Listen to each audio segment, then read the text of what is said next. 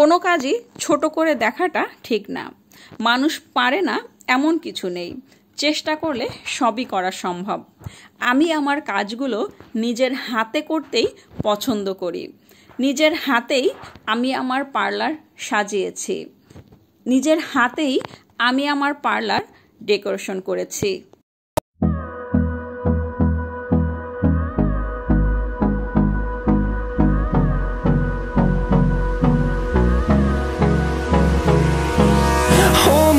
Close till I get up.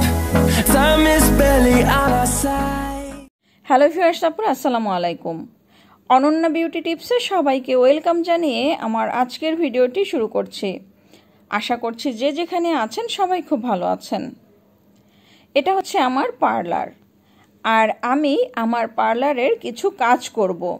আমি আমার পার্লারের ডেকোরেশনটা চেঞ্জ করতে চাচ্ছি নিজের হাতেই আমি ডেকোরেশনটা করব।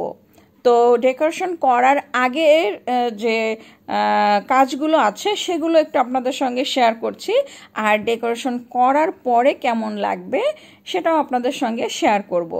তো আশা করছি আমার আজকের ভিডিওটি আপনাদের ভালো লাগবে। আর ভালো লাগলে একটা লাইক দিতে ভুলবেন না।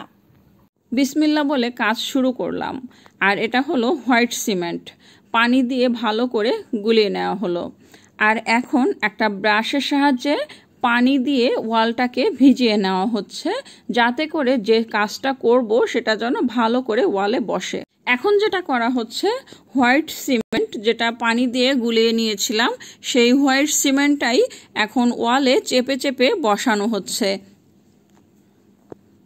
সিমেন্ট বসানোর পরে একটা ফয়েল পেপার দিয়ে ওয়ালে আবারও চেপে চেপে বসানো হচ্ছে, যাতে করে ডিজাইনটা খুব সুন্দর হয়। অনেক দিন ধরেই ভাবছি যে পার্লারটা একটু ডেকোরেশন করব।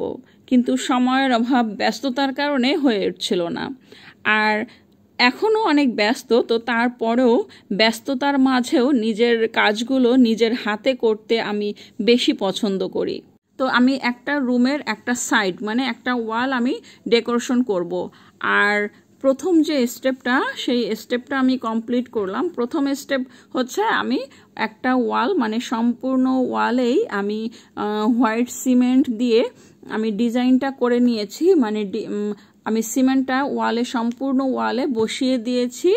আর এখন সিমেন্টটা যখন শুকিয়ে যাবে, শুকানোর পরে গিয়ে আমি এই সিমেন্টের উপরেই যে কাজটা করব, সেটা তো অবশ্যই আপনাদের সঙ্গে শেয়ার করব। তো সম্পূর্ণ ওয়ালে যখন আমি সিমেন্ট দিয়ে কাজটা করলাম, তখনও কিন্তু ভীষণ সুন্দর লাগছে দেখতে। চলে এলাম দ্বিতীয় স্টেপে এখন আমি রং করব। আর সিমেন্টের যে ডিজাইনটা, ডিজাইনের উপরেই আমি এখন ব্লু কালারের রংটা করছি। আর রংটা খুব ভালোভাবে করতে হবে এবং সময় নিয়ে করতে হবে। যেহেতু আমি সিমেন্ট দিয়ে ডিজাইনটা করেছি, তো ডিজাইনের ভেতরেও রংটা ঢোকাতে হবে। এটা হচ্ছে আমাদের ছোট্ট একটা বেবি আর ও আমাকে হেল্প করছে। তো সম্পূর্ণ ওয়ালটাতেই আমি ব্লু কালারের রংটা কমপ্লিট করলাম। আর ব্লু এবং হোয়াইটের একটা কম্বিনেশন রেখেছি আমি। আর এই ব্লু এবং হোয়াইটের উপরে আমি আরও একটা কালার করব। তো তার আগে যেটা করতে হবে ওয়ালটাকে ভালো করে শুকিয়ে নিতে হবে। মানে যে রংটা আমি দিয়েছি, রংটা যেন ভালো করে শুকানো হয়, তারপরে আমি আরেকটা রং দেব। ব্লু কালারের উপরে এখন গোল্ড কালারটা দিব। আর গোল্ড কালারটা এমনভাবে দেওয়া হবে, যাতে করে খুব সুন্দর একটা ডিজাইন হয়ে যায়।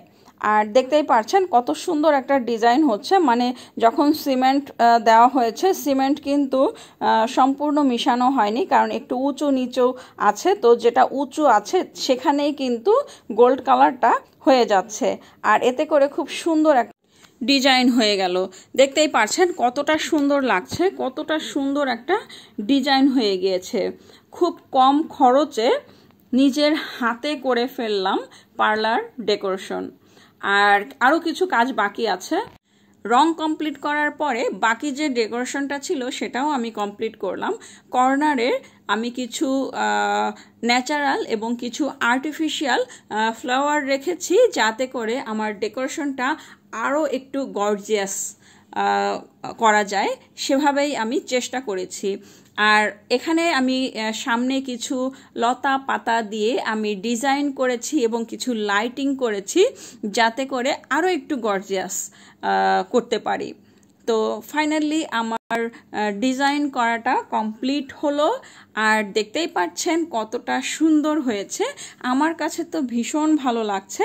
আপনাদের কাছে কেমন লেগেছে অবশ্যই কমেন্ট করে জানাতে ভুলবেন না। এবং আমার আজকের ভিডিওটি যদি ভালো লাগে, একটা লাইক দিতে ভুলবেন না। অবশ্যই আমার চ্যানেলটি সাবস্ক্রাইব